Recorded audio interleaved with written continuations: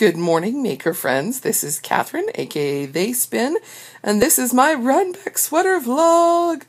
Um, I'm going to be attending my first Rhinebeck this fall, and so of course I was going to make a sweater.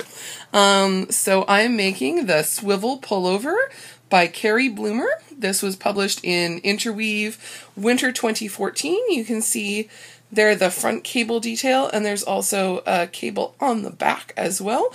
And that's what you can see in the shot right there. Um, you may be able to tell that this cable is mirrored. Um, well, it's not actually mirrored in the pattern. Um, and in fact, the pattern is not super clearly written, so what you can see back there is also all of the notes that I made about what I'm doing for all of the rows through the yoke.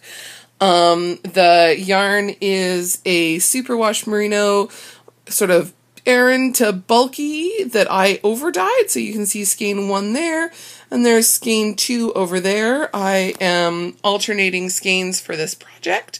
Um, and so I just wanted to bring you along on the journey of making this sweater. Um, I'm hoping to meet so many knitting friends at the festival, and I just wanted to share this journey with you as well.